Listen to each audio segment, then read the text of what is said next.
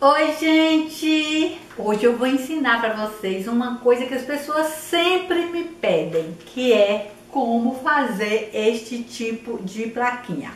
Existem várias formas de fazer essas plaquinhas. Eu aprendi com Lia Ágil. Vou deixar o link aí embaixo do blog dela, onde ela ensina a fazer. Eu também fiz um passo a passo e coloquei no meu blog. Vou também deixar o link aí no box de informações mas as pessoas sempre têm muitas dúvidas e aí eu resolvi gravar um vídeo ensinando como você faz uma plaquinha passo a passo. E a partir disso que eu vou ensinar, vocês podem fazer mil alterações na, na base, no tipo de letra, tudo. Vou ensinar passo a passo, tá certo? Então vamos lá que eu vou mostrar qual é o primeiro passo. Você pode fazer em qualquer tipo de madeira. Pode ser madeira grossa, pode ser madeira fina. Eu uso muito esse MDF assim bem fininho, porque você pode prender ele na parede com aquelas fitas adesivas. Você também, se quiser, pode fazer pequenos furinhos aqui. Um aqui, outro aqui, se for usar assim, só um. Então, com esse tipo de MDF, que é esse bem fininho, não sei quantos milímetros é isso aqui não, ó. Ele fica super leve, fica muito legal de trabalhar. Esse aqui já é de um MDF mais grosso hum, e você pode fazer também é, por exemplo, madeiras de construção, essas madeiras bem rústicas que ficam. Eu vou mostrar para vocês uns que eu tenho lá fora, já até, até meio desgastado, para vocês verem na madeira rústica como fica bacana, tá? Essa plaquinha que eu fiz aqui pro canto dos passarinhos, ela é feita com essas madeiras de... Madeira de construção que a gente acha aí nas construções e eu peguei, só dei uma base branca e fiz. Esta aqui também é uma madeira dessas bem rústicas, só dei a base branca. E tem essas aqui, ó, que elas ficam do lado de fora, tudo com pedaços de madeira que eu acho por aí. Tá? Nessas eu coloco ganchinhos, ó.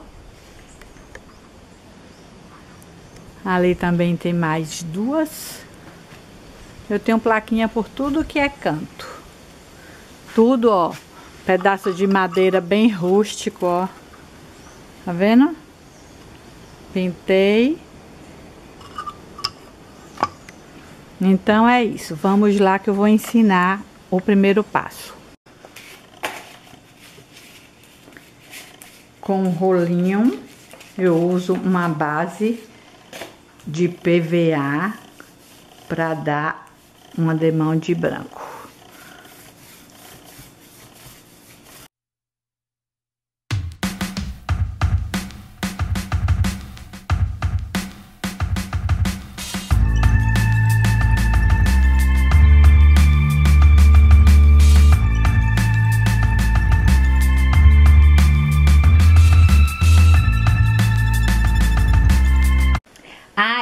Enquanto a placa seca, eu vim aqui no meu programinha de imagem. Você pode fazer isso onde você quiser.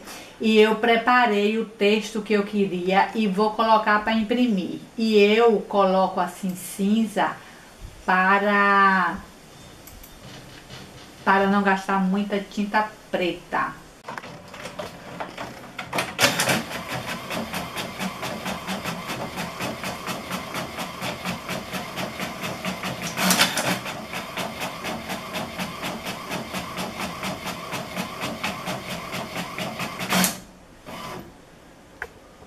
Pronto, imprimi nessa cor, porque minha impressora não tá imprimindo quando é preto, não entendi por quê.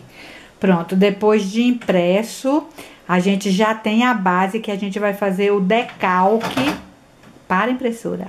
Que a gente vai fazer o decalque lá naquelas plaquinhas quando elas terminarem de secar.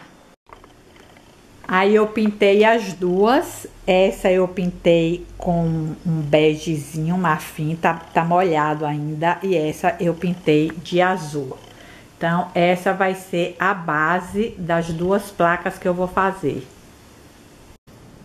E qual é o próximo passo para a plaquinha? É passar o texto para a placa. Como é que eu faço? Eu imprimi,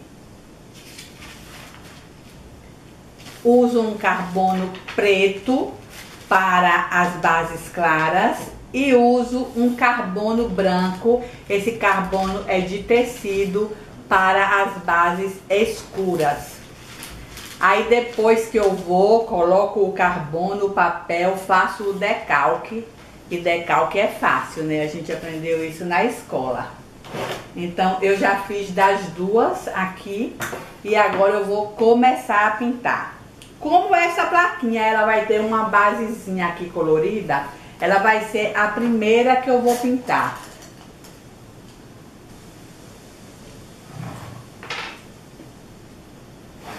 Então eu vou começar pintando essa, essa basezinha aqui azul, porque enquanto seca, escolha as tintas mais encorpadas que você tiver.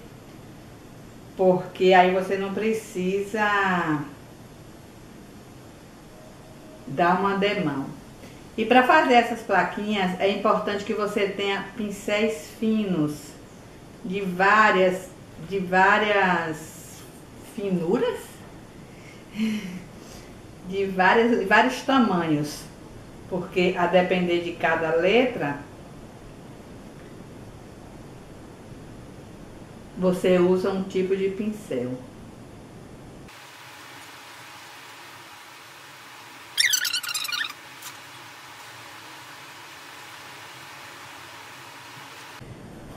Pronto, pintei essa base, então vou esperar ela secar e vou começar a pintar essa outra plaquinha. Essa aqui eu vou pintar ela de rosa e preto.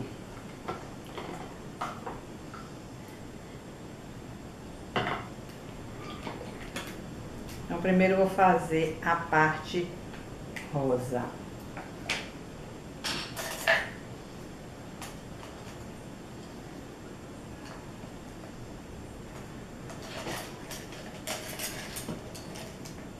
Eu gosto de testar o pincel para saber se esse pincel ele vai dar certo com o que eu tô querendo fazer. No caso esse aqui não vai dar, ele tá com uma ponta muito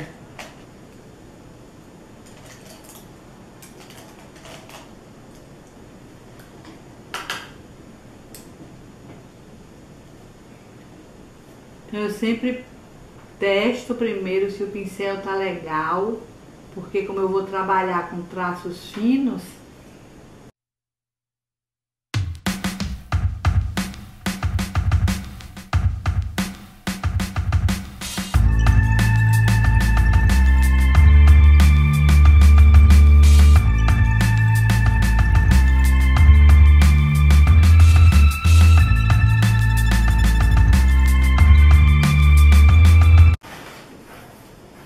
Como vai ficando, ó. E assim eu vou fazendo letra por letra.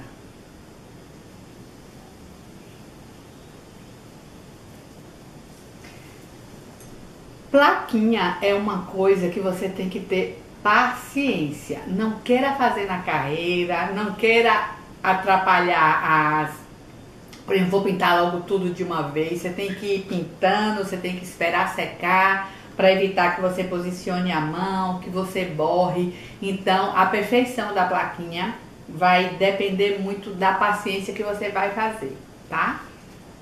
Eu, minha inspiração para fazer plaquinha é Lia Ágil. Ela faz plaquinhas lindíssimas, eu tenho várias aqui em casa dela.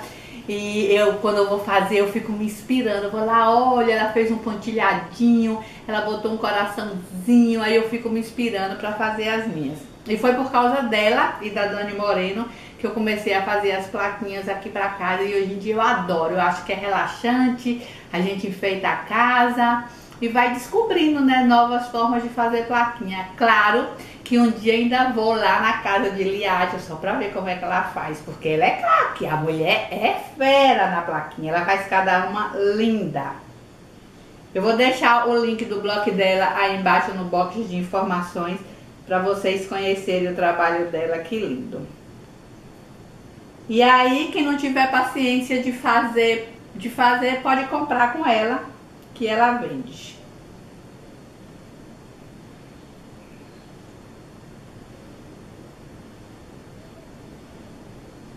Para não deixar vocês só olhando aqui, eu pintando, porque é muito chatinho, eu vou pintar algumas letras e volto já já para mostrar, tá bom? E aí que eu já pintei toda a parte de, de colorido, pintei os dois. E agora eu sempre deixo o preto por último.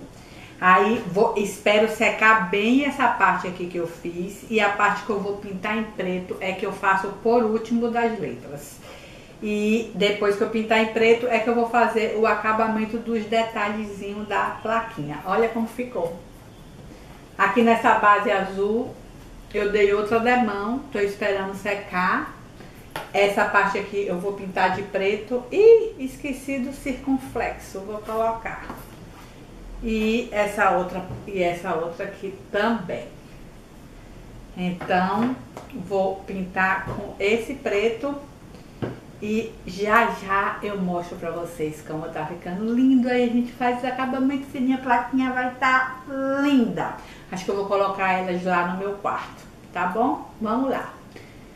Pronto, pintei as duas, pintei essa. Depois, pintei esta, essa aqui ainda tá levemente secando. Eu esperei secar essa base aqui, depois decalquei as letras e pintei por cima. Esse contorno aqui é um contorno mais difícil de fazer. Eu, por exemplo, não tenho a mão 100% firme. Então eu uso essas canetinhas aqui, são canetas próprias, canetas marcadoras de secagem rápida próprio para esse tipo de trabalho. Então eu faço o contorno usando a caneta, ó, porque é bem mais rápido e não requer tanta prática. Agora eu vou fazer o acabamento dessas placas. Vou fazer primeiro o acabamento dessa placa aqui, que é bege. Então eu vou usar um gel envelhecedor. Eu uso esse aqui da True Colors. Eu vou usar um pouquinho dele ó, aqui, ó.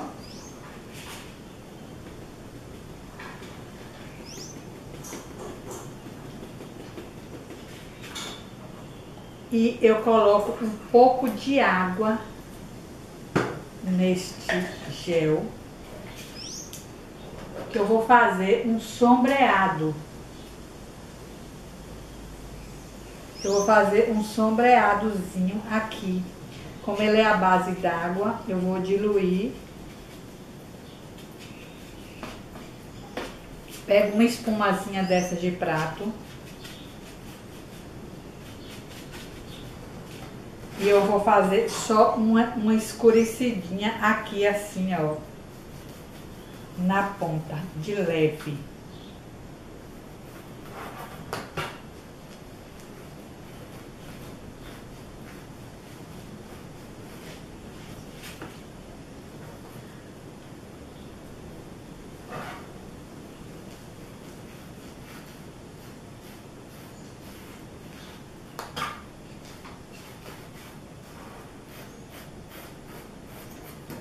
Você não tiver gel envelhecedor, você pode usar uma tinta marrom diluída para fazer essa sombrinha.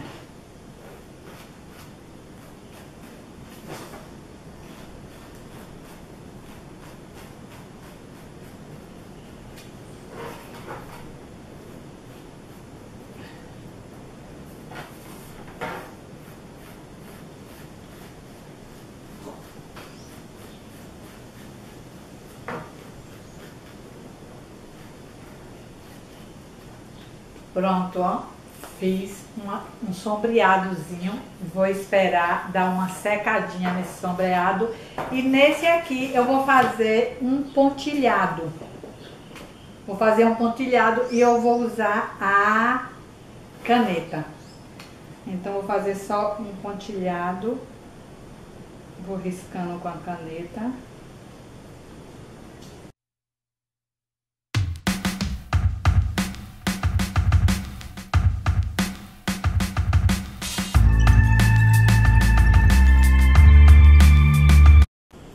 Essa caneta, ela tem duas pontas, ela tem uma ponta mais grossa e ela tem uma ponta mais fina. Depende do que você vai fazer. Ela é da Tech Bond. Tech, é da Tech, acho que é marcador permanente, duas pontas, secagem rápida. Tem este e tem um outro modelo da Acrylex. E é, tem Acrylex e Tech Bond. Normalmente vende em casa, que vende é, coisa para artesanato. Então essa tá pronta. Quando eu uso é, MDF assim fininho, eu não faço furo nem nada porque eu uso fita adesiva para para prender. E esta aqui que eu fiz o sombreado, agora já secou, eu também vou fazer o pontilhado. Ah, eu adoro, gente, fazer pontilhado. Aprendi com Lia e tudo eu quero pontilhar.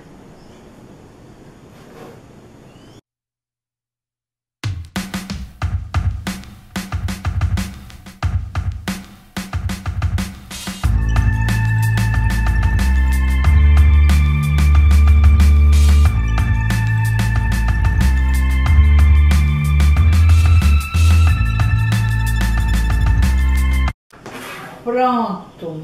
Essa aqui também fiz com pontilhado.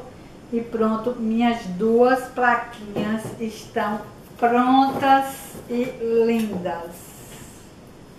Olha, se o sol deixar. Então é isso aí, espero que vocês tenham gostado. Eu amo fazer essas plaquinhas, é extremamente relaxante.